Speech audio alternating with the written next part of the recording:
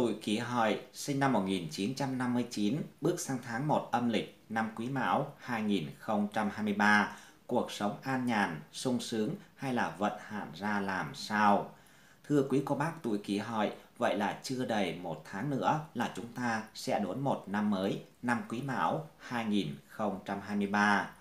Kính chúc quý cô bác có được sức khỏe dồi dào để đón năm mới, vạn sự bình an bên gia đình. Hôm nay, Minh Đường Tử Vi rất vui khi gặp lại quý cô bác trong chuyên mục Tử Vi 12 con giáp. Vâng, kính chào quý cô bác. Bước sang tháng đầu tiên của năm Quý Mão thì ai cũng hy vọng rằng mình sẽ gặp được nhiều điều may mắn.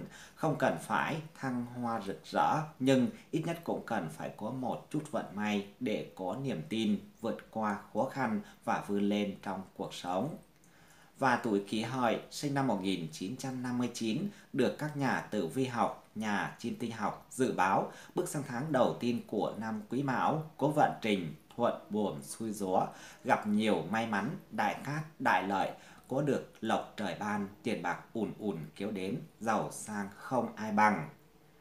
Và sau đây là phần luận giải tử vi chi tiết cho tuổi kỷ hợi sinh năm 1959 trên bốn phương diện chính của cuộc sống gồm sự nghiệp, tài vận, tình duyên, sức khỏe. Mời quý cô bác tuổi kỷ hợi cùng theo dõi.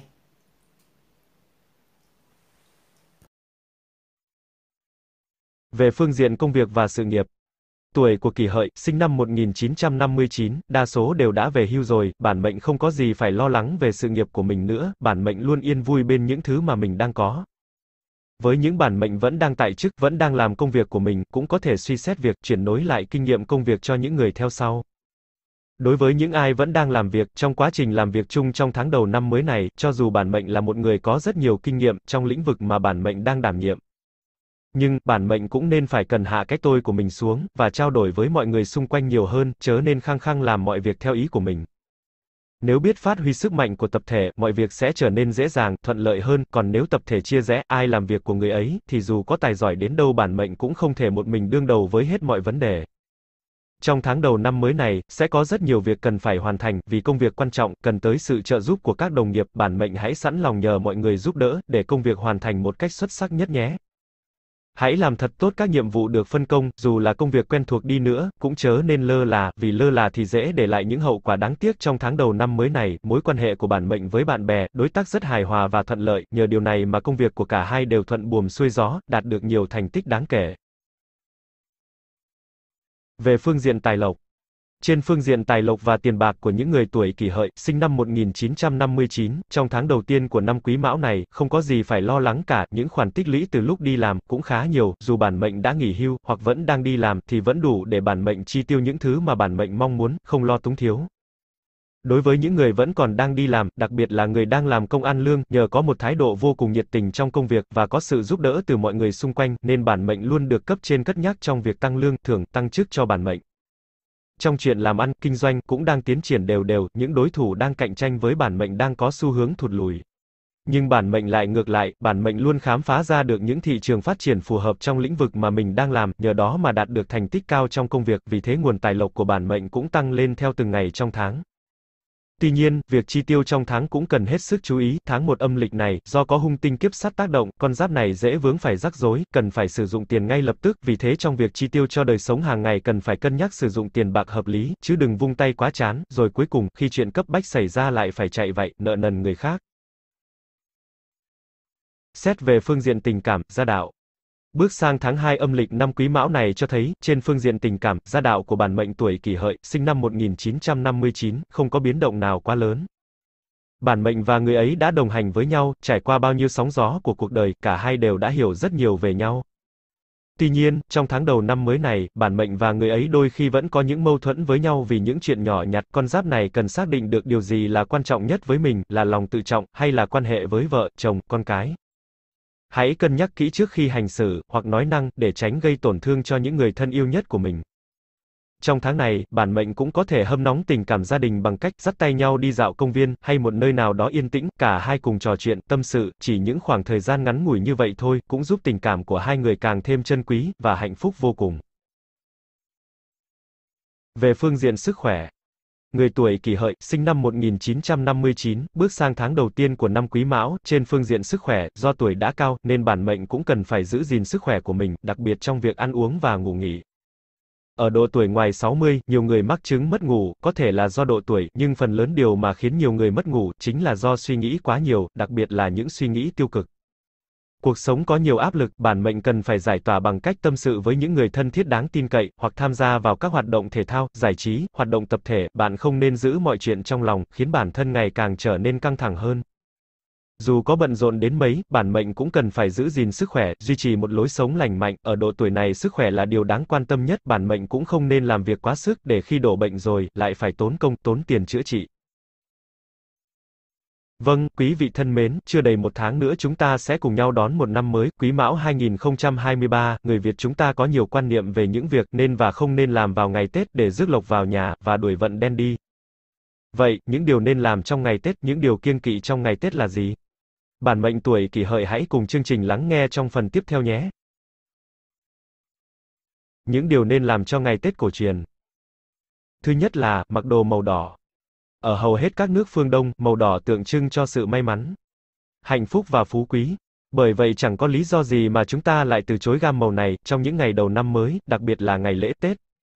Vì vậy, trong Tết năm nay, bản mệnh hãy sắm cho mình một chiếc áo màu đỏ để đón được nhiều may mắn và tài lộc nhé. Thứ hai là mua muối đầu năm. Tục ngữ có câu, đầu năm mua muối, cuối năm mua vôi, đây là lời nhắc nhở của người xưa về những việc nên làm vào đầu năm và cuối năm. Theo quan niệm của cha ông ta, muối có thể trừ tà, ma, và mang lại may mắn cho gia đình, muối mặn cũng là biểu tượng của tình cảm mặn nồng, ấm áp, no đủ. Chính vì vậy, người Việt thường mua muối sáng mùng một Tết với ý nghĩa cầu mong sự đậm đà, tràn đầy trong tình cảm. Thứ ba là chúc Tết vào dịp đầu năm mới. Bạn hãy đến nhà người thân, chúc Tết để nhận lại nhiều lời chúc may mắn cho mình, không chỉ vậy, đây cũng là dịp để bạn gặp lại người thân, bạn bè, đã rất lâu không có dịp hội ngộ, do bận công việc thường nhật. Chắc chắn những lời chúc Tết của bạn sẽ khiến cho nhiều người vui vẻ, ấm áp. Thứ tư là đi lễ chùa đầu năm. Tết Nguyên đán là dịp mà mọi người cầu mong an lành đến với cả nhà trong năm mới, đi chùa vào dịp đầu năm để tĩnh lặng trong tâm hồn cũng như thành kính nguyện cầu một năm nhiều an lành. Vì vậy, bản mệnh và gia đình hãy sắp xếp thời gian để đi lễ chùa cầu may nhé. Thứ năm là hái lộc đầu xuân. Hái lộc đầu xuân là một nét đẹp trong ngày Tết truyền thống của người Việt. Người dân Việt Nam thường đi hái lộc vào đêm giao thừa hoặc là sáng mùng 1 để cầu một năm mới luôn may mắn, viên mãn, rước lộc về nhà. Những điều kiêng kỵ trong ngày Tết đầu năm Quý Mão 2023 theo phong tục lâu đời của người Việt, trong ngày mùng 1 Tết Nguyên đán, có những điều kiêng kỵ không nên làm, để tránh những điều xui xẻo, không may mắn sẽ đến trong cả một năm. Tuy nhiên, những điều kiêng kỵ còn phụ thuộc vào quan niệm, tín ngưỡng riêng của từng gia đình, từng người. Nhưng hiểu những phong tục ngày Tết cổ truyền của dân tộc sẽ giúp cho mỗi người biết cách cư xử tế nhị, tránh gây khó xử trong các mối quan hệ. Thứ nhất là không cho lửa, nước đầu năm. Theo quan niệm của người xưa, lửa tượng trưng cho màu đỏ, màu đỏ mà cho đi sẽ không được may mắn. Nước được ví như tài lộc, chính vì vậy, các gia đình rất kiêng kỵ cho người khác xin lửa và nước đầu năm mới. Thứ hai là kiêng nói tục, cãi vã. Ngày Tết là ngày vui, nên ai cũng ứng xử vui vẻ hòa nhã với nhau, tránh to tiếng, nói tục, xô sát, để tránh gặp xui xẻo cả năm. Thứ ba là không vay, mượn, trả nợ. Người Việt rất kiêng kỵ việc vay, mượn, trả nợ trong ngày đầu tháng đầu năm mới, để tránh cho cả năm sẽ rơi vào cảnh túng thiếu, nợ nần, sẽ không thuận lợi trong công việc, làm ăn, kinh doanh. Điều kiêng kỵ này xuất phát từ quan niệm của cha ông ta. Trong ngày đầu xuân mới, con người mở cửa để đón tài lộc vào nhà, nếu như vay mượn tiền hoặc trả nợ, giống như dương tài lộc cho người khác vậy. Thứ tư là kiêng làm vỡ đồ, vỡ bể. Kiêng là đổ vỡ đồ vật trong nhà, đây được xem là tránh sự đổ vỡ, chia cắt trong gia đình. Vì vậy, cần tránh làm vỡ bát, đĩa, ấm, chén, vì nó báo hiệu sự chia lìa, đổ vỡ. Thứ năm là kiêng quét nhà đổ rác vào ngày mùng 1 Tết. Ngày mùng 1 Tết, các gia đình đều kiêng không quét nhà, đổ rác. Theo quan niệm của người Việt, làm như vậy sẽ hất tài lộc ra khỏi nhà. Ở Nam Bộ, sau khi quét dọn nhà cửa sạch sẽ, phải cất hết chổi, nếu bị mất chổi trong ngày Tết, nghĩa là năm đó trộm sẽ vào nhà và vét sạch của cải. Thứ sáu là, người có tang không nên sông đất. Theo quan điểm của người Việt, người sông đất đầu năm rất quan trọng và là người ảnh hưởng lớn tới sự may mắn, hay xui xẻo trong cả năm của gia đình. Chính vì vậy, những người có tang nên tránh sông đất đi chúc Tết hay thăm hỏi gia đình khác vào dịp đầu năm mới. Tiếp theo biên tập chương trình sẽ chia sẻ những người tuổi hợp sông đất, sông nhà cho gia chủ tuổi kỷ hợi, sinh năm 1959, để có một năm phát tài, may mắn, giàu sang, thịnh vượng nhé. Những tuổi sông đất rất tốt cho gia chủ tuổi kỷ hợi trong năm quý mão 2023 là Tuổi đinh mùi, sinh năm 1967 Tuổi ất mão, sinh năm 1975 Tuổi giáp dần, sinh năm 1974 Tuổi nhâm tuất, sinh năm 1982 Tuổi đinh sửu, sinh năm 1997 Gia chủ nên lựa chọn người đến sông nhà là anh, em, họ hàng, bạn bè thân thiết, làng xóm thân cận thì rất tốt. Gia chủ tuổi kỷ hợi, sinh năm 1959, cần phải chú ý, tránh mời những người tuổi dưới đây đến sông nhà đầu năm mới năm 2023 là tuổi kỷ hợi, sinh năm 1959, tuyệt đối tránh. Tuổi kỷ tỵ, sinh năm 1989. Nhâm ngọ 2002. Tân tỵ 2001. Quý dậu 1993. Nhâm thân 1992. Tân dậu 1981. Và phần luận giải cuối cùng trong video ngày hôm nay là Ba việc ngoài ý muốn khiến tuổi 60 phải cúi đầu bất lực, quý tín chủ tuổi kỷ hợi, sinh năm 1959, cần biết sớm, để sống an yên, khỏe mạnh, và hưng vượng. Qua tuổi 60, chính thức bước sang giai đoạn lão niên, con người có thể bình thản hưởng thụ cuộc sống vui vẻ, bỏ lại những lo toan những gánh vác, những lý tưởng, hoài bão của thời tuổi trẻ, ở phía sau. Thế nhưng nhân sinh vô thường, trong cuộc sống, khó tránh được một số chuyện ngoài ý muốn, khiến con người cảm thấy bế tắc, bất lực và đau khổ. Dưới đây là ba việc sẽ khiến chúng ta cảm thấy bất hạnh nhất nếu không may gặp phải ở tuổi xế chiều. Thứ nhất đó là bệnh tật. Trong cuộc đời mỗi con người, không có thứ gì quan trọng hơn việc sống khỏe, sức khỏe là tài sản lớn nhất của mỗi người, cho dù có bao nhiêu tiền của. Nhưng, nếu không có một cơ thể khỏe mạnh, thì tất cả cũng chẳng có ý nghĩa gì, vì thế sức khỏe của bản thân cần chăm sóc thật tốt. Không chăm sóc sức khỏe, qua tuổi 60 con người chúng ta có nguy cơ phải đối diện với sự đau đớn của bệnh tật, không chỉ bản thân chịu khổ, mà người nhà cũng bị liên đới, mệt mỏi theo, tình trạng đó nếu kéo dài quá lâu, sẽ khiến những người khác chán ngán, bỏ mặc, ngay cả con cái cũng tìm cách né tránh, đến lúc đó chúng ta có than thở oán trách cũng chẳng ích gì. Bởi thế chăm sóc tốt sức khỏe cho bản thân, chính là cách giúp chúng ta làm mình vui, và cũng là giúp người thân làm cho họ vui. Thứ hai là, không còn bạn đời bên cạnh. Về già là lúc mà mỗi người đều mong có người bầu bạn, việc có đôi có lứa, ở tuổi xế chiều, cùng trải qua một cuộc sống, êm đềm, bình dị, thực sự là niềm mơ ước của nhiều người, không may mất đi bạn đời ở tuổi này, con người mới cảm nhận thấy rõ nhất sự cô đơn, không còn người bầu bạn, không có người tham gia, không có người để lo lắng, quan tâm, cuộc sống trở nên cô độc biết nhường nào. Khi con người qua tuổi 60, có con đàn, cháu đống, nhưng vẫn không không thể nào có thể thay thế được vai trò của một người bạn đời, người ấy có thể lúc nắng, lúc mưa, nhưng lại là người hiểu mình nhất, quan tâm và gần gũi mình nhất trong cuộc đời này, chính bởi thế khi còn sống cạnh nhau, nhất định phải quý mến trân trọng nhau, nương tựa và chăm sóc lẫn nhau. Thứ ba là con cái bất hiếu. Vì con cái, người làm cha mẹ đã mất hơn nửa đời người phải sống trong hy sinh, vất vả, bước vào tuổi lão niên, về mặt tình cảm người làm cha mẹ luôn hy vọng con cái quan tâm đến mình, dành cho mình sự quan tâm, hỏi han, ân cần, tử tế, nhưng trên thực tế, không phải bất cứ người làm con nào cũng cư xử hữu lễ, đúng mực với cha mẹ của mình.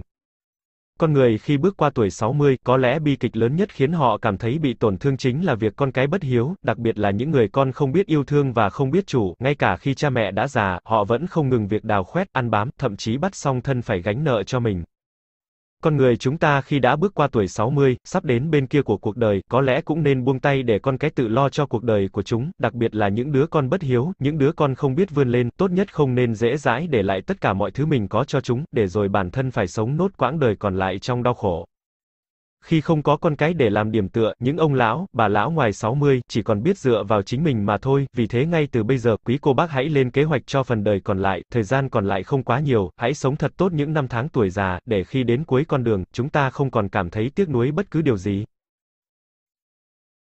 Vâng, quý vị thân mến. Trên đây là những chia sẻ rất tâm huyết đến từ ban biên tập chương trình về tử vi tháng 1 âm lịch năm Quý Mão 2023 cho người tuổi Kỷ Hợi, sinh năm 1959.